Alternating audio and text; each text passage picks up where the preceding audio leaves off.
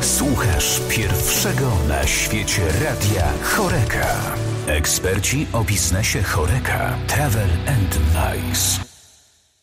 Dzień dobry, z tej strony Rafał Krzycki. Witam Was w kolejnym odcinku e, audycji w oparach luksusu, którą prowadzę wspólnie z Karolem Weberem, z, e, który prowadzi bloga Enjoy Your Stay. Dzień dobry, Karolu. Dzień dobry.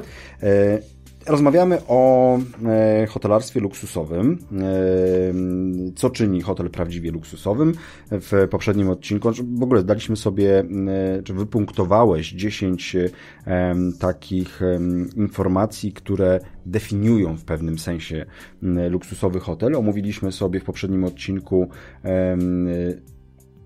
lokalizacja, tak. E, znaczy, że to jest istotny element, e, jeśli chodzi o e, taką, projektowanie, taką, planowanie. Tak, czy mhm. definicję, mhm. tak, definiowanie hotelu luksusowego, jego dziedzictwo, historia i powiedzieliśmy sobie również o twórcach i, i pewnej wizji. Także dopiero tak naprawdę omówiliśmy sobie trzy punkty z dziesięciu. Jeszcze wiele przed nami, więc przechodzimy dalej. Proponuję, abyśmy kontynuowali tę dyskusję i mamy teraz taki punkt goście. No tak, e, no bo tutaj oczywiście e, hotel jest to miejsce przeznaczone dla, dla gości, tak? Więc e, tutaj to nie jest tylko ten budynek, ten wystrój i pracownicy, którzy w nim pracują, ale przede wszystkim to są, to są goście, którzy no, często tworzą historię danego, danego miejsca, są też często elementem pewnego dziedzictwa danej marki, marki luksusowego hotelu tworzą jego historię i tworzą również atmosferę, tak? To wcale nie muszą być znane osobistości, o których się mówi, które się fotografuje we wnętrzach danego, danego obiektu, ale to są na pewno osoby, które no, właśnie tworzą takie poczucie ekskluzywności, goście, no bo bez, bez, po prostu bez, bez gości żaden hotel zwyczajnie nie będzie, e, nie będzie istniał, tak? Goście, którzy są wierni marce, tak? którzy są również swego rodzaju e, ambasadorem, tak? Ambasadorem, co to znaczy, czyli osobą, która będzie nie tylko, że sama będzie do tego, w tym hotelu przebywała, czy często przyjeżdżała, ale również będzie ten hotel rekomendowała, tak? Będzie o nim e, dobrze się e, wypowiadać, tak? Także goście to jest kolejny element, o których, no, oczywiście musimy dbać, o lojalność. Właśnie, powinniśmy dbać jako hotelarze o lojalność naszych gości, bo to sprawia, że gości do nas e, wracają, czy zachęcają również e, innych. Tak? Więc niewątpliwie e, goście to no, pomagają w budowaniu historii, renomy, a niekiedy również pewnych mitów, tak, które dodają jakiegoś takiego smaczku wokół, wokół danego, danego hotelu. Mm, to prawda do następnego, takim następnym elementem, który chciałbym wyróżnić, to na pewno będą apartamenty. Apartamenty przez duże A. Ale masz tutaj na myśli już jakby rodzaj pokoju, tak? Hotelowego? No tak, no bo hotel y, prawdziwie luksusowy, właśnie to też chciałem rozwinąć, że to nie jest po prostu apartament, który no, po prostu jest, jest większy, prawda, bo ma większy metraż i mm. ma dwa osobne pomieszczenia, tak, że ma salon, że ma e, e, sypialnię, że ma dwie toalety według, według polskich przepisów e, kategoryzacyjnych, tak, tylko apartament, e, no, który jest, e, zwłaszcza w hotelach luksusowych, nosi miano tak zwany signature suite, tak, czyli takie apartamenty flagowe, nie tylko apartament prezydencki czy apartament królewski, tak, jak to w większości hoteli pięciogwiazdkowych bywa, ale często apartament, który może też mieć swojego patrona, tak? czyli osobę, która znaną jakąś osobistość, która w tym hotelu często y, y, przebywała. Tak? Choć oczywiście y, no, no, też apartament, w, który, w którym mogą być zebrane pewne elementy, z którymi na przykład które miały styczność, mhm. powiedzmy, z tą znaną, z tą znaną osobistością, tak? Na przykład apartament e, Paderewskiego w, w, w, hotelu, w hotelu Bristol, tak? Więc, czy powiedzmy apartament Coco Chanel w w hotelu Ritz w Paryżu. Miałem okazję tylko zwiedzić ten, ten, ten apartament, ale tam jest też wiele elementów, nie tylko fotografii samej słynnej projektantki, a również wiele elementów, które, które ona po prostu przekazała dla hotelu Ritz. Czy nawet jak ostatnio nocowałem w zeszły weekend w hotelu Rosewood Hotel de Crillon w, w Paryżu, gdzie ich największy apartament nie nosi wcale nazwy apartament prezydencki tylko apartament Lagerfelda. Dlaczego? Mhm. Dlatego, że słynny projektant mody Karl Lagerfeld zaprojektował jego, jego wnętrze. Jako taka ciekawostka, taki apartament kosztuje jedyne 15 tysięcy euro za, e, za noc. Mówię jedynie, dlatego że w hotelu Four Seasons w Nowym Jorku em, apartament penthouse tak naprawdę, e, Ty Warner, tak się nazywa, em, kosztuje 45 tysięcy dolarów za, mhm. za noc. Tak troszkę może odbiegnę od tematu, ale to jako taką ciekawostkę. Czy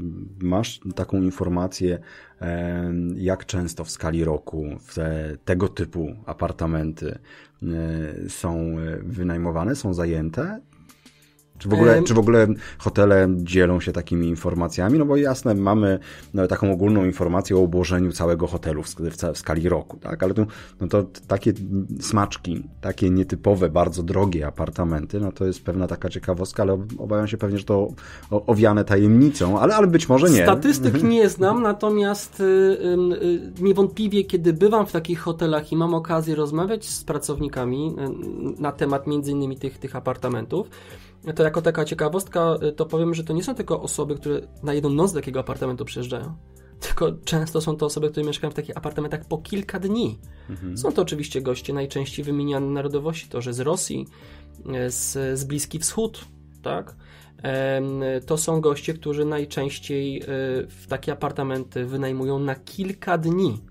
E, w, w, kiedy gościłem dwa lata temu w nowojorskim hotelu Plaza, tam byłem oprowadzany przez dyrektora Guest Relations, który wówczas y, tą funkcję pełnił Polak, który mnie zaprowadził do ich apartamentu królewskiego, gdzie mieszkała e, księżniczka z Bahrajnu bodajże, już nie pamiętam z którego kraju na, na, na Bliskim Wschodzie, ale mm, e, mieszkała przez cały, przez cały tydzień. 35 tysięcy dolarów za noc kosztował mm -hmm. ten apartament za, Czyli e, za dobę. Ponad tak. 200 tysięcy dolarów za, za tygodniowy pobyt. Tak. No mm. tutaj w Polsce mówi się, że prawda, że najdroższym apartamentem prezydenckim będzie e, apartament w hotelu Raffles Europejski, w którym no, kosztuje doba ponad 4, no, 4 tysiące euro, czyli 16 tysięcy mm. złotych za noc i, i pamiętam jak rozmawiałem kiedy gościłem w, w, hotelu w zeszłym roku, E, również zapytałem e, o to, kto tam czy w ogóle ktoś był już do tej, ktoś już w ogóle ten apartament wynajął, że także pierwszym gościem był gość z Rosji, który bez mrugnięcia okiem y, po prostu wyłożył kartę mhm. kredytową i zapłacił 16 tysięcy złotych za noc. No, myślę, że w porównaniu z tymi przykładami, które sobie wcześniej opowiedzieliśmy, to te 4 tysiące euro czy 16 tysięcy złotych to, to, to rzeczywiście mogą być drobne niemalże. No tak, ale też umówmy się, prawda, jesteśmy w Polsce, więc wiadomo, ta, ta siła pieniądza jest, jest też, y, wartość tak. tego pieniądza jest inna. E, to tutaj też warto o tym wspomnieć, skoro poruszyłeś ten temat tych, tych cen, że na przykład nasz Raffles europejski, e, gdzie prawda, można tą no, już przenocować powiedzmy tam o tych 820 zł, przynajmniej jakiś czas temu taką cenę, e, cenę widziałem, no to paryski Raffles kosztuje ponad 2000 zł za noc, tak? Więc tutaj wiadomo, no, miejmy też świadomość kraju, lokalizacji miasta, w którym hotel tej, tej danej marki się, y, się znajduje, ale to, co też trzeba wspomnieć, że niezależnie od tego, czy ja płacę 2000 y, zł za noc, czy 800 zł za noc, nawet jeżeli to jest 500 zł za noc, a jeżeli hotel ma 5 gwiazdek, a już tym bardziej, jeżeli reklamuje się, a są takie hotele w Polsce, które lubią podkreślać w swoich folderach reklamowych, że są luksusowymi, no to wtedy muszę mieć tego świadomość, że ja mam prawo wymagać e, jako gość, nawet jeżeli przychodzi mi za to zapłacić 300 zł, tak? Natomiast, no i notabene nocowałem w takim hotelu na Mazurach, który na, określał się mianem luksusowym, prawda? Gdzie doba kosztowała tam od 350... Pięciogwiazdkowy? E, cztery gwiazdki. Mhm. Właśnie, to jest kolejna rzecz. Czy, czy faktycznie e, hotel 3-4 gwiazdkowy można powiedzieć, że jest, że jest luksusowy? Tutaj pozwolę sobie taką może y, postawić taką tezę, że, że faktycznie ryzykowną.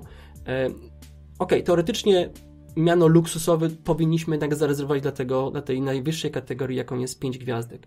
Ale uważam, że jeżeli jest hotel czterogwiazdkowy tylko dlatego, że pewnych elementów infrastrukturalnych nie spełnił, tak, powierzchni, nie wiem, metraż pokoju, czy może brak basenu, bo, bo zwyczajnie mhm. nie mógł go y, gdzieś tam y, y, wybudować, to jeżeli zadba o te wszystkie inne elementy, o których mówimy, przede wszystkim zadba, zadba o wyjątkową obsługę, tak, to myślę, że tutaj nawet hotele, które są formalnie skategoryzowane mhm. na cztery gwiazdki, również mogłyby nosić miano luksusowe.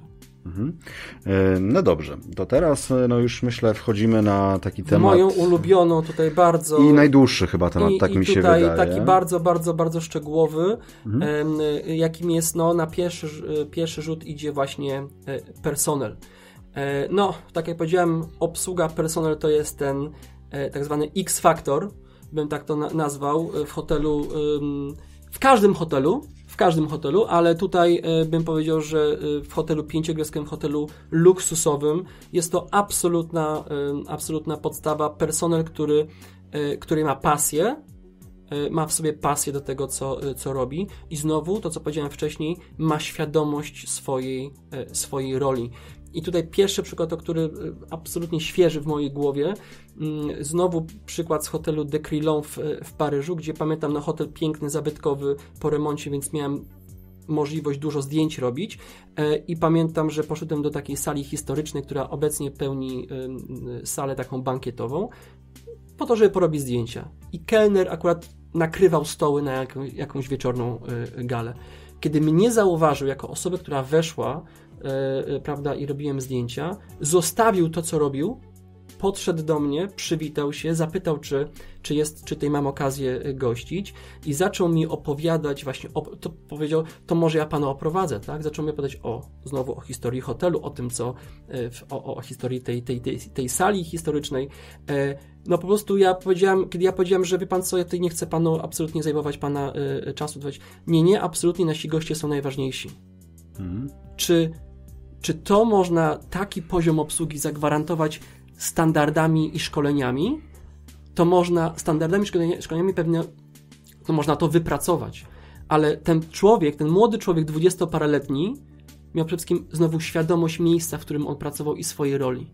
Że gość najpierw, a dopiero potem moja, e, mhm. moja praca tak? Więc personel z pasją i ze świadomością swojej e, roli. To również pracownicy, którzy właśnie mają ten sta długi staż pracy. O czym to świadczy? Właśnie o tym, że oni są związani z kulturą organizacyjną tego y, y, danego, danego swojego miejsca pracy, danego no, hotelu. Oni tak? w ogóle tworzą to miejsce. Oni tworzą to miejsce i nawet tutaj, prawda, często się mówi, prawda, o hotelu Bristol w Warszawie, który no, działa niemalże nie, nie, nieprzerwanie od momentu y, otwarcia, gdzie, prawda, jest, jest znany odźwierny, prawda, który pracuje tam już no, kilkadziesiąt, kilkadziesiąt lat, tak? To jest, to jest element nie tylko dziedzictwa, ale to jest coś, co po czym się poznaje, że ten hotel dba o swoich, e, o, o swoich e, pracowników, tak?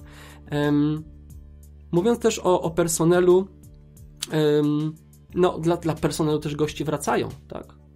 Dlaczego? Bo znowu, ja mogę mieć w każdym hotelu mogę mieć wygodne łóżko, duży telewizor. Mało tego, ja mogę mieć jeszcze większy telewizor w kolejnym nowym hotelu, który, mm. który dopiero się co otworzył, tak? Mogę mieć, trafić, mieć znowu hotel, który może być jeszcze piękniejszy pod względem y, y, wystroju, tak? Ale goście wracają nie dla wyposażenia. Goście wracają dla doświadczeń, dla emocji, o które kto zadbał? Personel E, e, personel właśnie. Także tutaj, szanowni państwo, menadżerowie, właściciele hoteli, dbajcie o swoich pracowników, nie tylko o ich wiedzę na temat wykonywanej pracy, o pakietach e, pobytowych, o, o, o winach w karcie, prawda? Oczywiście to jest absolutnie podstawa, bo żeby sprzedawać, to trzeba mieć, mieć wiedzę. Ale w prawdziwym hotelu, który jest wierny istocie hotelarstwa, to, to zadbajmy o tych ludzi, żeby oni przede wszystkim mieli pasję i, e, i świadomość. Wracając tutaj, jeżeli mówimy o hotelu prawdziwie luksusowym, jak personel ma świadczyć obsługę na poziomie luksusowym, jeżeli on nie doświadczył również tego produktu jako gość? I często ja, jako pracownik, powiedzmy, marki Four Seasons, czy nawet pracując w hotelu Intercontinental w Warszawie, miałem okazję spędzić jedną noc w hotelu z osobą towarzyszącą, prawda? No. Gdzie e, mogłem doświadczyć tego produktu jako gość pójść, nie tylko, że przenocować, prawda, zamknięte, żeby nikt mnie nie widział w, w pokoju, ale mogłem pójść do restauracji, mogłem zamówić room service, mogłem pójść do strefy, do strefy wellness z, z basenem, tak? Miałem prawo poczuć się jakoś, a to się automatycznie